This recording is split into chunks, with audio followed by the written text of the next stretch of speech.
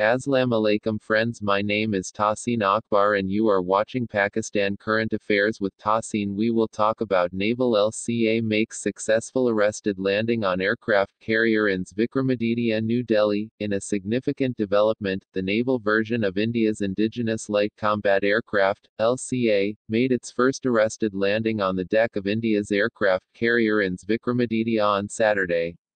In its statement, the Defense Research and Development Organization, DRDO, which developed the LCA, hailed the landing as a success.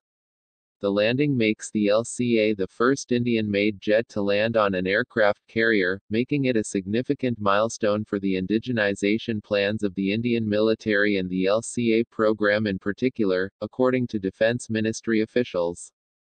After completing extensive trials on the Shore Base Test Facility, SBTF, the naval version of Light Combat Aircraft, LCA, did a successful arrested landing on board in Vikramaditya at 1002 hours on Saturday, and QUOT, a statement from India's Defence Research and Development Organisation, DRDO, said, Commodore Jaideep Maolankar conducted the maiden landing, and QUOT, the statement said adding that the landing was monitored through telemetry from the SBTF in Goa.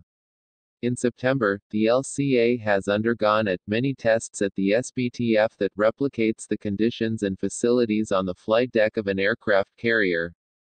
The SBTF was specifically built to train naval pilots in the complex maneuvers of landing on the short flight deck of an aircraft carrier before they moved on to the actual carrier. The naval version of the LCA took its first flight in April 2012 and two prototypes have been flying as part of the development.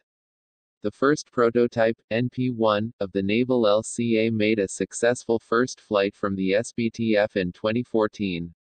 The Navy currently operates Russian MiG-29K fighters from INS Vikramaditya which will also fly from the first indigenous aircraft carrier Vikrant once it enters service.